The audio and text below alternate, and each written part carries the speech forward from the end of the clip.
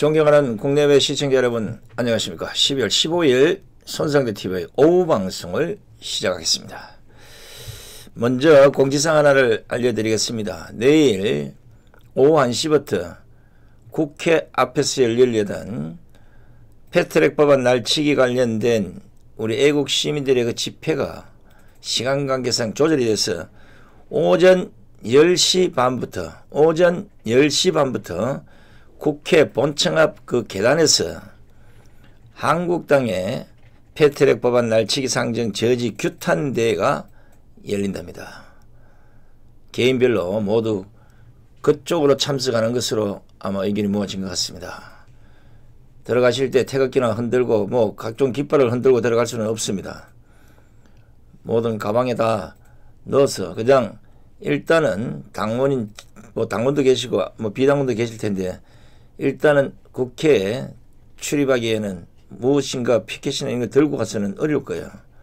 그러니까 가방 같은 데 넣어서 이래 들어가셨다가 뭐 현장에서 꺼내고 이런 건 뭐 괜찮겠지만 이게 또 뭐 선거법하고 이런 것도 저축이 되어 있기 때문에 각별히 좀 조심들 하시고 내일 10시 반 국회 본청 앞 그 계단 이름 아마 그 밑에 잔디밭까지 아마 꽉 찰 것 같은데 국회 본 그 안으로 들어가서 아마 그 교탄 뒤에 참석하는 거로 이렇게 숙지하고 계시기 바랍니다.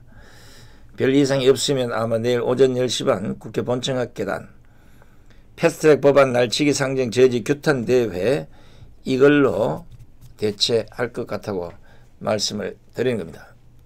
오후 1시에는 아마 없을 겁니다. 혹시 다른 내용이 있다면 속보로 또 전해드리기로 하고 아니면 카톡이나 문자를 통해서 여러분들에게 수정된 사항들은 따로 알려드리도록 하겠습니다. 자 오늘은 일요일 오후라서 여러분들 좀 편히 쉬고 계실 때 좀 심각한 얘기를 좀 해봐야 되지 않겠나 싶습니다. 바로 전쟁 이야기입니다. 대한민국 국민이라면 누구라도 반대해야 하는 것이 전쟁이라는 그거는 뭐 인지상정이 아니겠습니까? 전쟁 좋아하는 사람 없잖아요. 그런데 지금 바로 그 전쟁이라는 기운이 지금 한반도를 감싸고 있습니다. 전쟁, 전쟁, 지금 젊은 사람들, 그리고 지금 나라 돌아가는 꼬라지에 아무 신경 안 쓰시는 분들은 뭐 전쟁이 터지겠어. 그러다 말겠지. 북한이 뭐 어딘가 미사일 몇 방 쏘다가 또 그러고 말겠지. 미국이 뭐 설마 김정은이 참수실라 북폭 안 해. 그렇게 생각하시는 분도 있을 겁니다. 팔자 좋게 태평성대를 누리고 있는 국민들도 있을 것이고 혹시나 만에 하나 전쟁이 일어나면 어떡하나 이런 걱정에 잠 못 이루시는 국민들도 계실 거라고 봅니다. 자 그런 의미에서 저는 지금 현재 한반도와 미국, 중국 그리고 다양한 지금 문재인 정권 이런 걸 다양하게 좀 분석을 해서 과연 전쟁이 일어날지 안 일어날지 또 일어난다면 어떻게 해야 되는지 지금 우리 정권은 문재인 정권은 지금 현재 전쟁에 대비해서 뭐 어떤 대책이 있는지 이런 것들을 좀 까다비 봐야 되지 않겠습니까? 먼저 북한 조선중앙통신이 어제죠 14일 국방과학원 대변인 발표를 통해서 12월 13일 오후 10시 41분부터 48분까지 새 위성 발사장에서는 중대한 시험을 또다시 진행했다고 밝혔습니다. 자, 왜 또다시라 했겠습니까? 북한 국방과학원이 지난 7일에도 바로 이 발사장에서 중대한 실험을 실시했다고 8일날 대변인 담화문을 통해서 알린 바 있지 않습니까? 그 중대한 실험이 벌써 두 번이에요. 이 중대한 실험이 미국이 신경을 써야 할 만큼 ICBM이나 아니면 핵과 관련된 무슨 시험을 한 게 아닌가 하고 지금 미국도 긴장을 하고 있습니다. 상황은 아시다시피 이런 식으로 전쟁 전운으로 가고 있는데 문재인은 입을 닫고 있고 이 정권은 북한에 대해서 아무 말도 못하고 있습니다. 그렇다고 국민을 향해서도 지금 상황이 이렇습니다 하고 설명도 안 합니다. 오히려 미국이 더 한반도에서 전쟁을 걱정하는 분위기가 지금 계속 이어지고 있습니다. 실제 미국에서는 제2의 한국전쟁이라고 말하는 이런 발표들이 공공연하게 나오고 있고 김정은이 무모한 짓을 하려면 먼저 트럼프 대통령이 북한의 중요한 곳을 폭격할 것이라는 분석까지도 나와 있습니다. 미국과 북한이 어떤 식으로건 충돌을 일으키건 안 일으키건 아니면 북한이 일방적으로 미국으로부터 선제 폭격을 당하건 말건 우리에게 피해가 없으면 다행인데 지금 벌어지고 있는 이 문제들을 현실적으로 규명을 해보면 100%이 문제에서 멀리 피해서 있을 수 있는 입장은 아닙니다. 관여하기 싫어도 관여를 해야 하고 상황에 따라서는 미국과 북한 간의 충돌이 남한과 북한 간의 국지전이건 전면전이건 전쟁으로 확전될 가능성도 있다는 것입니다. 이 말이 어떻게 들릴지 모르겠습니다만은 옛말에 애들 싸움이 어른 싸움이 되고 말로 싸도가 결국은 무기를 들고 살인을 저지른다는 말이 있듯이 지금 미국과 북한 간의 꼴이 딱 그런 식으로 진행되고 있습니다. 그러니까 지금 미국과 북한 이 두 나라가 보여주는 이 서로 간의 앙앙 그림은 상대방에게 막 이렇게 고함을 치는 수준을 넘어서 자칫하면 폭력을 행사할 상황으로 발전되어 가고 있다는 것입니다. 관심을 끄는 것은 지난 13일 일본 산케이신문에 보도된 그레이엄 앨리스 미국 하버드대 교수가 전날인 12일 일본 도쿄에서 열린 일본 아카데미아 주체가 하는 학술 행사에서 전쟁 가능성을 밝혔다는 것입니다. 앨리슨 교수는 제2차 한국전쟁이 일어날 가능성이 커졌다. 바로 이런 우려를 표명한 겁니다. 미국과 중국 간의 갈등이 불가피하다는 투키디데스 함정으로 국내에도 유명한 이 앨리슨 교수가 지난 500년간 신구 패권 격돌로 12차례 전쟁이 벌어졌다는 내용을 담은 예정된 전쟁을 발간한 미국의 저명한 정치학자입니다. 그리고 빌 클린턴 행정부 시절에 국방부 차관보를 지낸 인물이기 때문에 그가 얘기하는 전쟁의 가능성에 지금 무게가 실리고 있는 겁니다. 앨리슨 교수는 제2차 한국 전쟁 발발 확률에 대해서 50% 이상은 아니지만 꽤 큰 가능성이 있다고 밝혔습니다. 그러니까 50%를 넘어설 수도 있다는 거죠. 상당히 전쟁이 무르익어가고 있다. 이런 생각을 하셔야 될 거라고 좀 보고 있습니다. 최근 미국과 북한 관계가 악화된 그 상황에 대해서도 앨리슨 교수는 매우 위험한 전개라고 진단을 했고 김정은이 비핵화 협상 시한으로 제시한 연말이 다가왔기 때문에 수준의 특정 방침을 발표할 것이라고 전망을 했습니다. 앨리슨 교수는 또 북한이 미국 본토를 위협하는 대륙간 탄도미사일 ICBM 발사나 핵실험을 계속하던 2017년 11월 이전으로 돌아갈 경우 트럼프 대통령이 북한 미사일 발사대 파괴된 군사 공격을 명령할 수도 있다. 이런 분석을 내놓았습니다. 앨리슨 교수의 그 말 중에 1950년에 발발한 한국전쟁 때와는 달리 그6.25 전쟁을 얘기하는 거죠. 지금 북한은 일본을 공격할 가능성도 있다고 진단을 했습니다. 그러니까 한국과 미국뿐만 아니라 일본, 중국도 전쟁 발발을 피하기 위해서 지금 적극적으로 대응해야 한다. 이렇게 강조를 한 것입니다.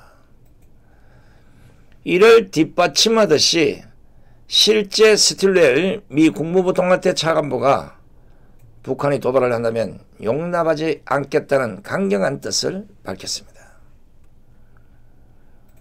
이것은 북한의 장거리 미사일 발사 또 핵실험을 하지 않겠다는 약속을 지키라는 압박에서 한 발 더 나간 겁니다. 더 강경해졌다는 거죠.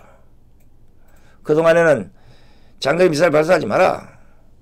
핵실험 하지 마라. 뭐 이랬다가 이제는 하면 갈겨버리겠다. 북폭을 하겠다는 걸 공개적으로 밝힌 겁니다. 심지어 미국 합참은 최악의 경우도 대비하고 있다고 밝혔습니다.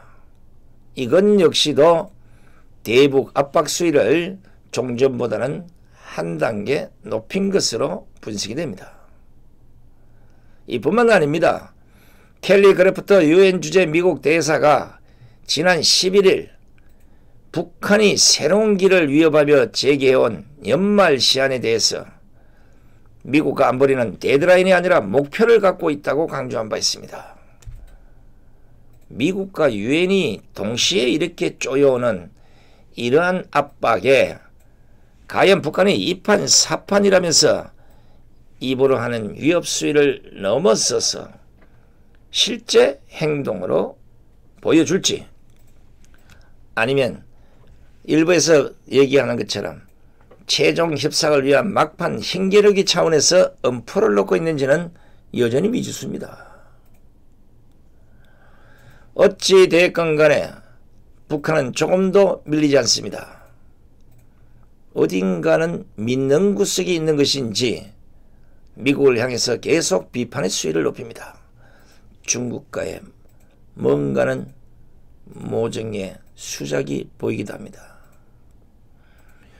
북한은 지난 12일 오후죠.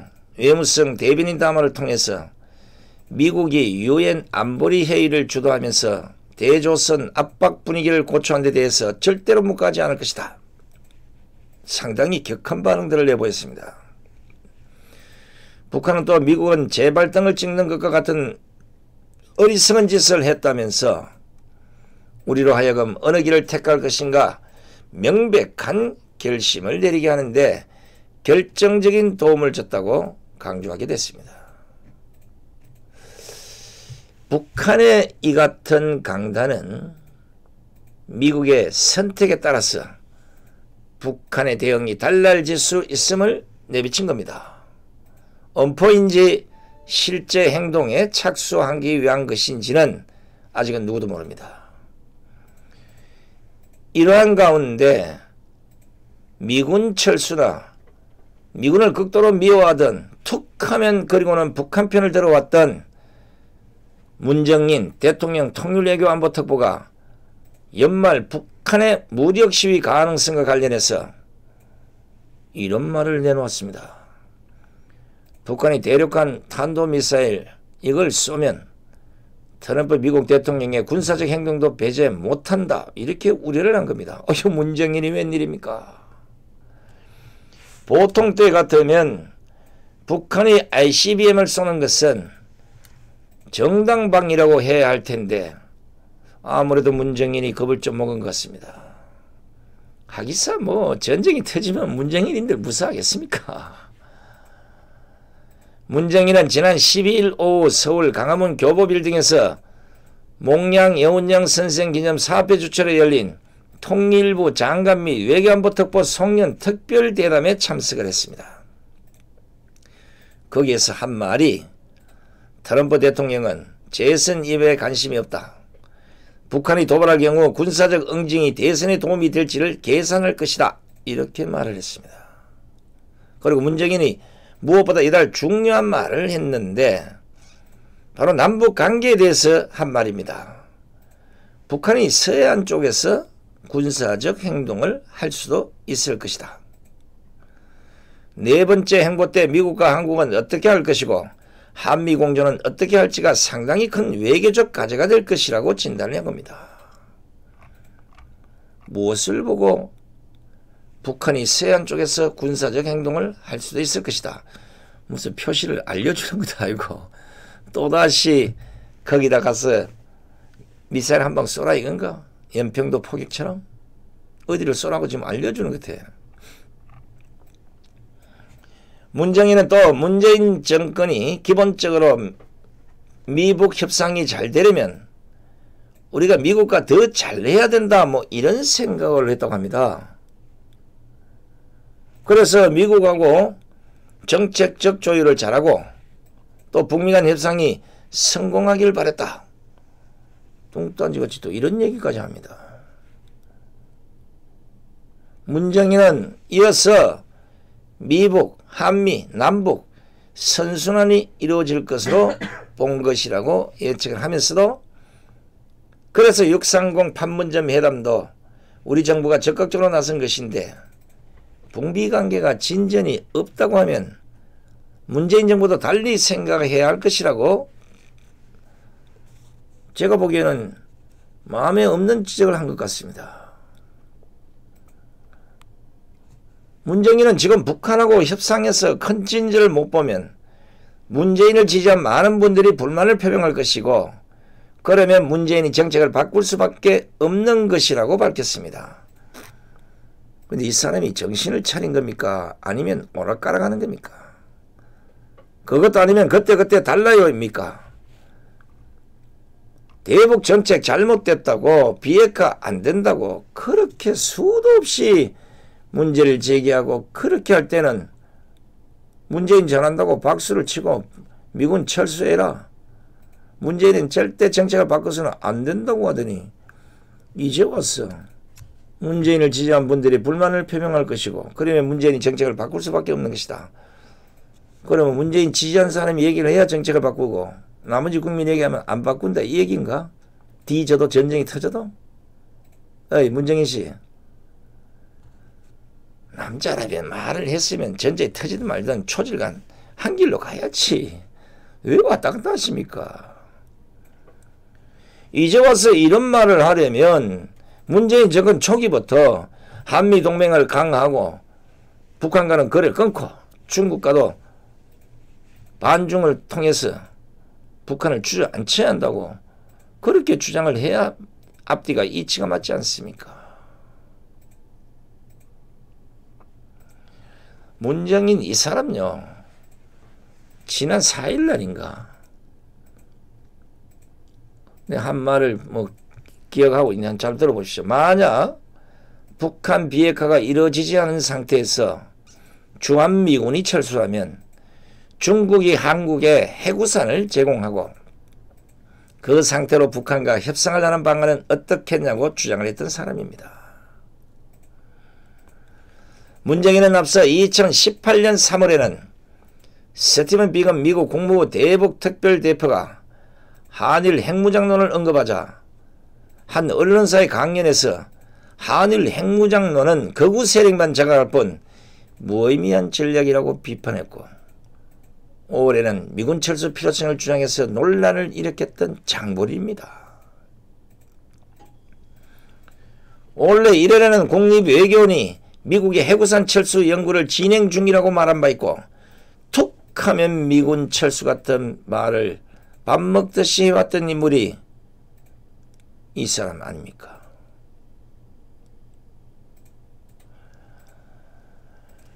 아무리 문재인의 복심으로 통하는 문정인이라고 하지만 미군 철수를 바라는 듯한 말을 스스럼없이 내뱉고 중국의 해구산을 언급하는 등의 위험한 말이 거의 입에서 나오는 것은 문제가 있는 사람 아닙니까?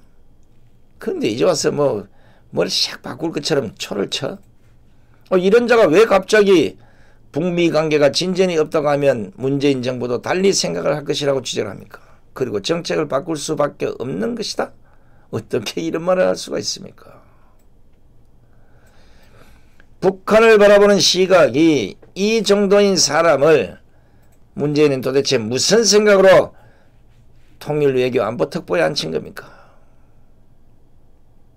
우리가 문재인 정권 초기에 북한과의 대화에 열을 올리면서 평안이 통일이니 하면서 환상에 빠져 있을 때 그것은 잘못된 판단이고 북한은 절대로 비핵화 안 할 것이다.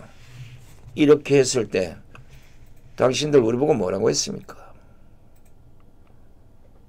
우리 보고 반평화주의자, 전쟁을 좋아하는 미치광이들이라고 말하지 않았습니까? 그런데 결과는 어떻게 됐습니까? 우리가 말하고 지적한 게 하나도 틀린 것이 없지 않습니까?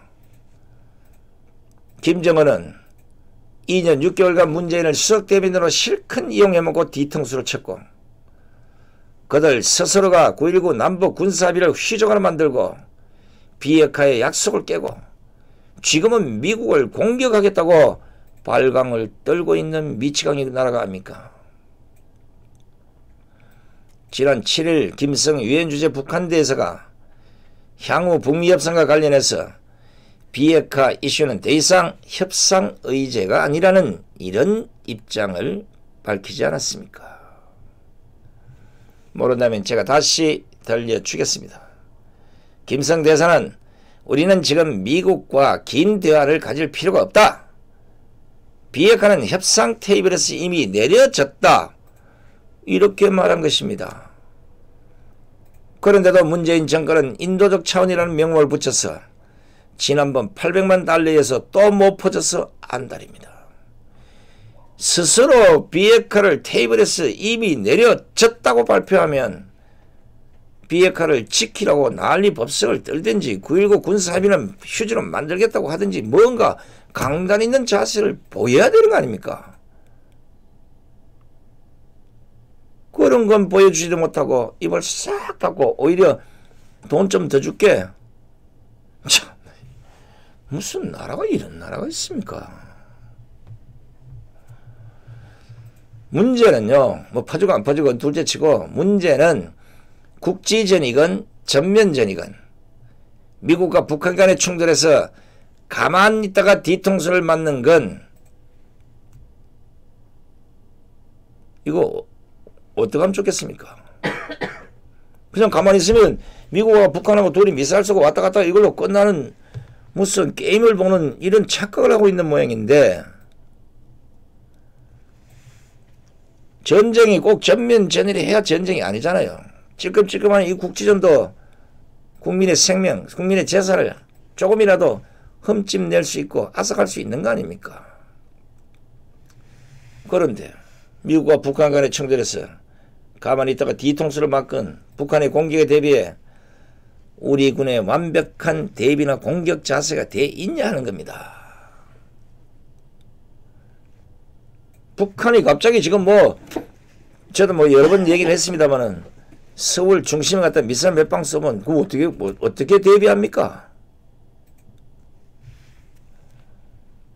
이미 아무 짓도 못할 것이라는 거 여러 번 확인이 됐습니다. 이 정권 들어서 삼체가 북한 성박 출몰이나 에델렐 구역에 중국 러시아 전투기 출현 그리고 뻑하면 무슨 뭐 배가 넘어왔다 갔다 비행기가 넘어왔다 갔다 미사일 막 쏘아대고 그런데 거기에 대해서 아무런 대응을 한 게 없지 않습니까? 이런 식으로는 전쟁에서 100점 100패할 것이라는 것이 지금 국민들 사이에서 팽배해가고 있는 우려입니다.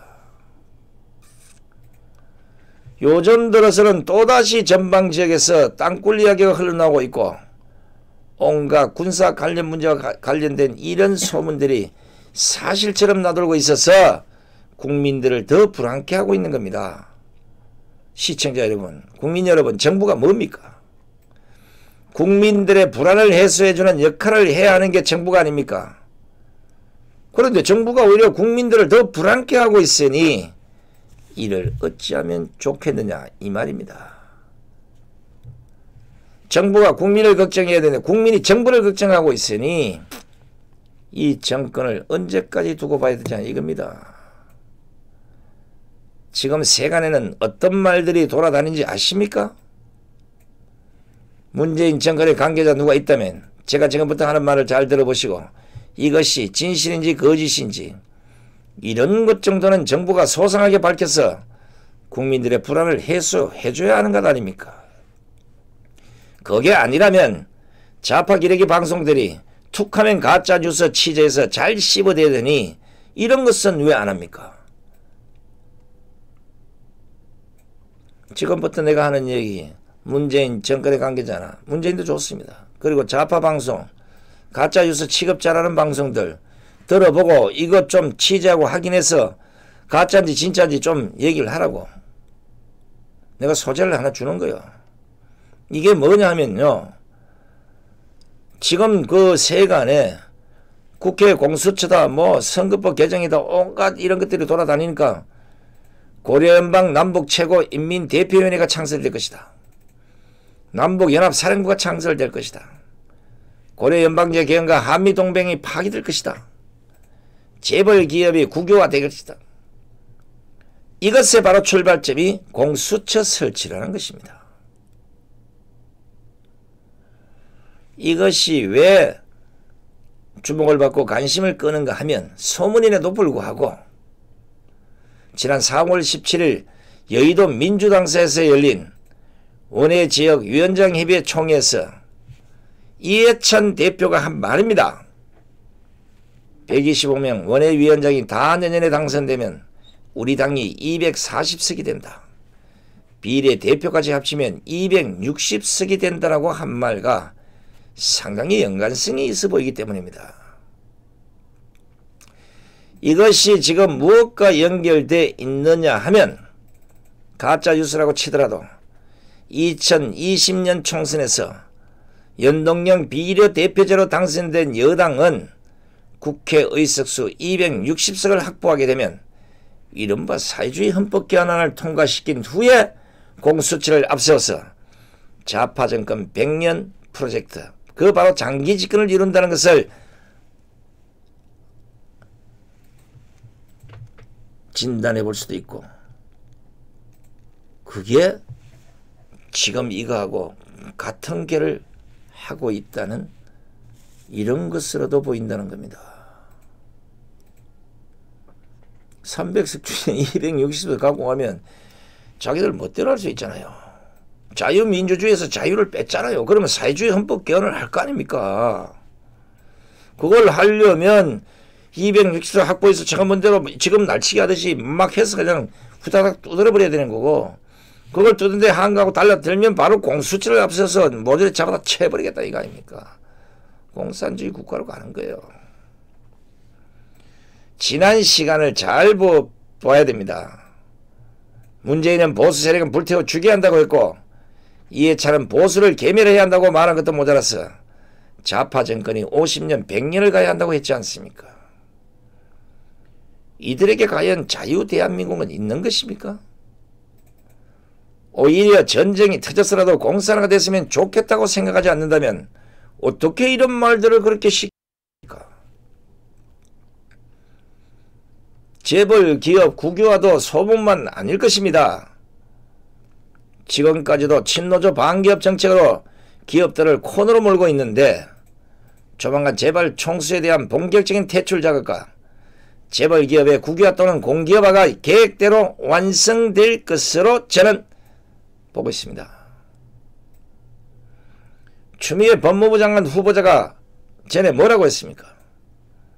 지난 2017년 10월 추미애 후보가 더불어민주당 대표 시절에 당시 기자단 오찬 간담회 자리에서 이런 말을 했습니다.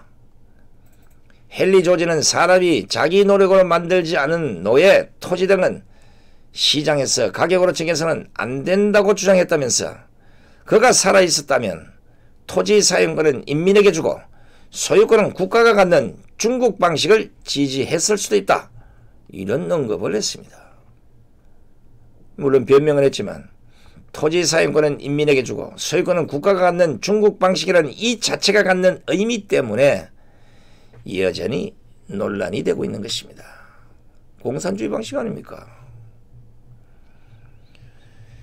저는 개인적으로 이런 가능성을 어디에서 찾아볼 수 있냐 이러면 이른바 기업 경영을 국가가 통제하는 노사경영위원회를 예의주시하고 있는 겁니다.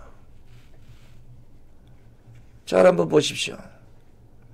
대한항공 칼이 문재인 정권에서 두 손을 든 것이나 중국 시진핑이 제일 군침을 흘려 탐을 내고 있다는 삼성, LG, 롯데가 계속해서 이 정권의 압박을 받고 있는 것도 예사롭지 않습니다.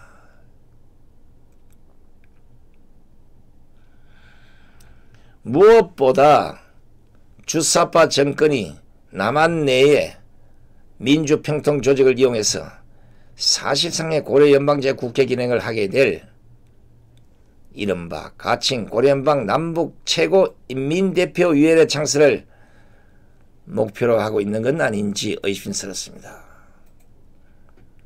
만약에 좀 있다가 남북 통일특별위원회 설립과 선거법 개정이 맞물려 있는 것은 아닌지 우리는 두 눈을 똑바로 뜨고 의심스럽게 쳐다보셔야 합니다. 그리고 왜 민주당에 260석이 필요한지도 잘 들여다보아야 합니다. 패스트트랙을 막아야 될 이유가 바로 이런 것들에 있는 거예요.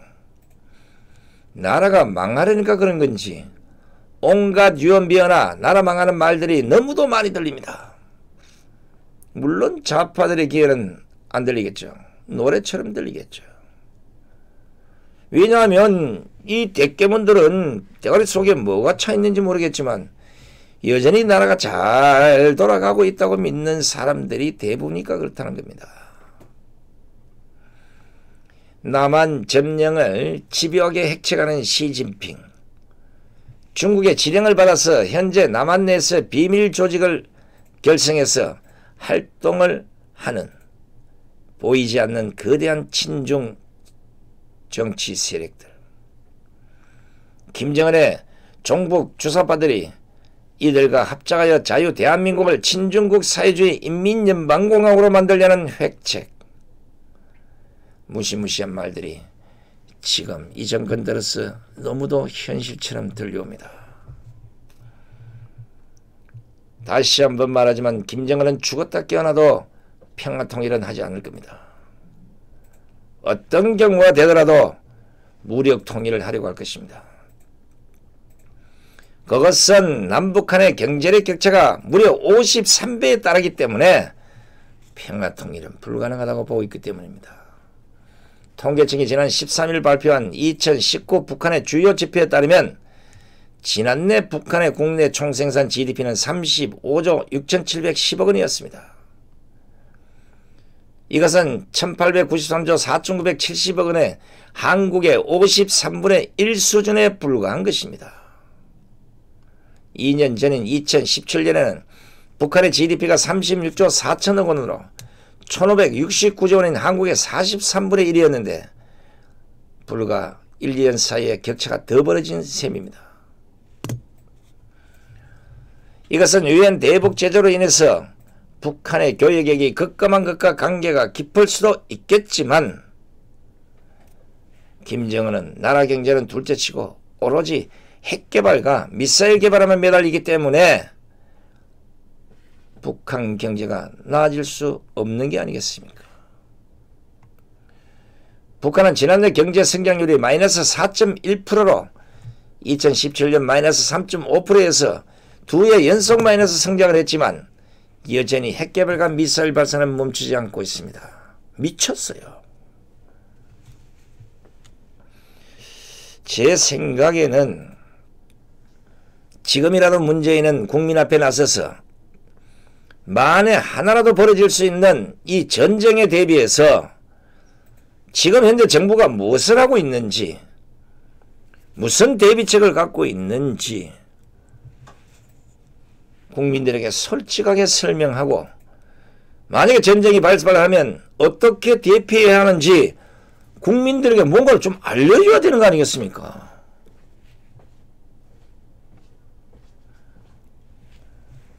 도대체 문재인은 부국 강병의 생각이 있는지 모르겠습니다.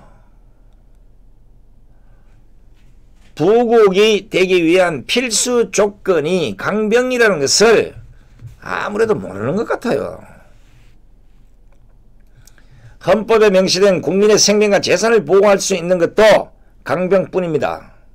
강한 군대뿐이란 겁니다. 어느 국가건 특히 적국과 마주한 우리나라의 경우는 강병이 빠진 말로만의 부국은 결국 나라 망하는 길입니다. 시청자 여러분 그런데 문재인 정권은 지난 2년 6개월 동안 확연하게 보여주었습니다. 대한민국 군을 강병은커녕 민병대에도 못 미치는 민대로 만들어버리지 않았습니까? 민간인 부대처럼 만들어버린 겁니다. 오죽하면 군인들이 전쟁이 터지면 그 상관의 말을 듣고 전장으로 달려나가는 것이 아니라 엄마한테 연락해서 엄마 말을 듣고 총을 버리고 집으로 달려온다고 하지 않겠습니까? 북한 비핵화는 단 한 걸음도 진척이 없는데 북한 스스로가 더 이상 비핵화는 없다고 하는데 여전히 허물어 놓은 전방의 군 대비 태세를 그대로 방치하고 있습니다. 전쟁 수위를 땡겨 올리고 있는데도 허물어진 군 대비 태세를 그대로 방기하고 있는 거예요. 문재인은 국민들이 그렇게 반대하는데도 북한의 비핵화 쇼에 속아서 가장 나중에 손을 대야 할 군대를 가장 먼저 손을 댔습니다. 저걸 이롭게 한 거예요. 비핵화니 군사 합의니 뭐 이런 걸 하면서 스스로 알아서 군사 시설을 죄다 허물고 군인들을 민간이나 시킨 것입니다. 쉽게 얘기하면 있을 수 없는 일을 한 것입니다. 국가 간에 무슨 협상이 있다면 전쟁이 일어날 수 있는 이런 와중에 비핵화니 군사합의니 여기 속아서 어떻게 군 대비 태세부터 먼저 허물고 있냐 이겁니다. 말이 안 되잖아요. 있을 수 없는 일을 했다고 문재인에게 다고치면 문재인은 잘했는데 무슨 소리야 이렇게 얘기할 거 아닙니까? 군사 시설을 허물고 군에 무슨 이 작업을 하는 거는 제일 마지막이에요. 과연 문재인이 국군 통수권자로서 가져야 할 최소한의 자세를 가지고 있는지 저는 이게 궁금합니다. 왜냐하면요. 우리 헌법 제66조에 대통령을 국가원수로 규정하고 있고 제74조에는 따로 대통령을 국군 통수권자로 명문화해놓고 있겠습니다. 이것이 뭐냐 하면 대통령이라면 대한민국의 원수이지 민족의 지도자가 아니라는 것입니다. 그럼 대통령은 무엇을 해야 합니까? 바로 부국 강병의 모든 전력을 쏘아 부어야 되는 게 아니겠습니까? 그것 때문에 헌법이 국군 통수권자라고 규정을 하고 있는 겁니다. 그런데 문재인은 국군 통수권자가 절대로 하지 말아야 할 하더라도 마지막 단계에서나 검토해 볼 대한민국 군의 무력화를 보란 듯이 깔끔하게 해치웠습니다. 그리고 민간인들의 죽음에는 그렇게 난리 법석을 떨고 정치적으로 이용을 하지만 정작 나라를 지키다 목숨을 잃은 군인들의 죽음에는 눈을 감아버렸습니다. 뿐만 아닙니다. 손을 잡아야 될 동맹국들과는 죄다 등을 돌리고 통일 한상에 빠진 나머지 북한에만 목을 메고 있지 않습니까? 북한에만 목을 메면 다행인데 중국에는 굽실거리까지 합니다. 치욕스런 굴욕, 치욕스런 외교를 보란 듯이 보여주고 있는 겁니다. 아무리 국민들이 다그치고 아무리 손상대 티백에 다그쳐도 한상 속에서 여전히 꿈을 꾸고 있을 뿐 깨어나지 못합니다. 아무리 뜯어보고 아무리 까지집어 봐도 문재인 정권에는 국가라는 단어는 보이지 않습니다. 제가 보기에는 국가와 민족 사이에서 국군 통수권자가 중심을 잡지 못하면 나라가 망한다는 이 논리조차도 모르는 사람입니다.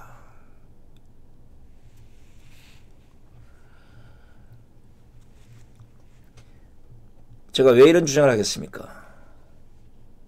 저도 군에 있을 때 헌병 생활을 했기 때문에 행사란 걸 많이 해봅니다. 국군의 날 10월 행사. 이런 행사들은 우리 군이 이렇게 강하다는 그 무력 과시의 날을 10월 행사에서 보여줌에도 불구하고 그런 국군의 날에 싸이 같은 가수들을 영내로 불러서 리사이틀을 하듯이 하고 간첩 신영복과 6.25 전쟁의 앞잡이 김원봉을 존경한다고 하는 것을 볼 때 문재인은 국군 통수권자로서 당연히 해야 할 부국 강병의 국가가 아닌 환상의 공동체인 민족만을 보고 가고 있는 것 같습니다. 자격이 없는 사람이에요. 국가가 물론 뭐 대통령으로 인정하는 사람들이 대깨문밖에 없으니까 그런지 모르겠지만 어떤 이유가 됐든지 그 자리에 앉아 있다면 국군 통수권자로서 부국 강병만은 철저하게 이루어야 됨에도 불구하고 오히려 그걸 깨 부쉈기 때문에 적국을 이롭게 한 이런 문제가 이제 조만간 대두가 될 겁니다. 그 책임을 져야 된다는 겁니다. 대한민국을 국가로 보는 게 아니라 무슨 한 민족으로 봐가지고 이걸 북한하고 어떻게 짱을 해서 낮은 연방제 뭐 이런 거 한번 만들어 보겠다 이런 생각을 하고 있습니다. 잘 보십시오. 오히려 북한이 부국 강병을 주장하고 있고 중국 역시 그런 길로 철저하게 가고 있는데 문재인만 허상의 민족을 쫓고 있습니다. 대통령 자격이 없다는 거예요. 왜? 국가 지도자라는 딴 생각을 갖고 있습니다. 대통령과 국가 지도자는 다른 거예요. 국군 통수권자와 국, 그 지, 지도자는 다른 거랍니다.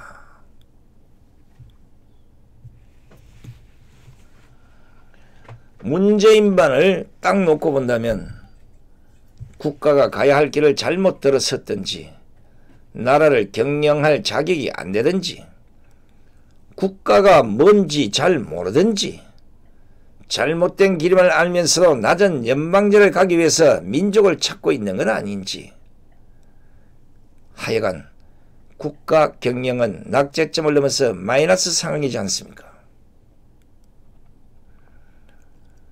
평화가 그냥 오는 게 아니지 않습니까?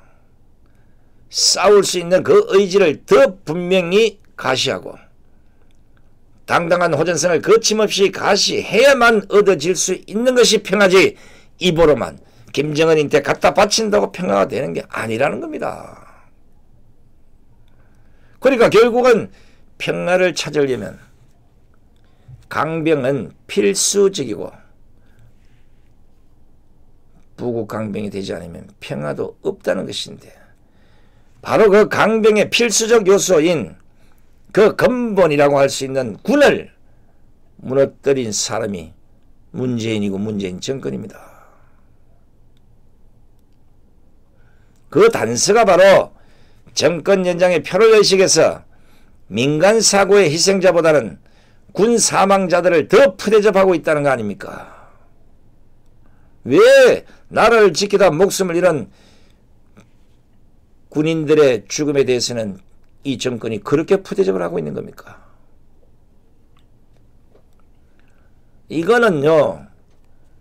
잘 한번 보시면 대한민국 군이 바로 그 국가의 관심 밖으로 밀려나고 있다는 것입니다. 심각하게 받아들여야 되는 거예요. 국가를 인식하지 못하고 국가 경영도 제대로 못하고 대한민국을 국가로 보는 것이 아니라 한 민족으로 보고 있기 때문에 지금 이런 일이 벌어지고 있는 겁니다. 그런데 군이 국가의 관심 밖으로 밀려나고 있는 걸 뻔히 알면서도 어, 모를 수도 있지. 지금 군대는 그런 알 사람도 없을 것이고 그럼에도 그 당사자라고 하는 군인들까지도 입을 굳게 닫았습니다. 그냥 스스로 로버트 군인 허스아비 군으로 변해가고 있는 것입니다. 시청자 여러분 지금 당장 강화문 광장에 북한의 미사일이 몇 발 떨어졌다고 가정해 봅시다. 그럼 어떻게 피하고 어떻게 대비해야 하는지 제대로 알고 있는 국민이 있습니까? 없잖아요. 유비무한 100번 외치면 뭐합니까? 국민들이 피할 수 있는 단 몇 분간의 홍보 시간 이것조차도 망각한 이 정권이 보란듯이 강행했던 것이 지소미아 파기였습니다. 전쟁이라는 것이 내가 너희 나라를 며칠 날 칠 건시가 조심해 이렇게 알려주고 도발하는 것이 아닙니다.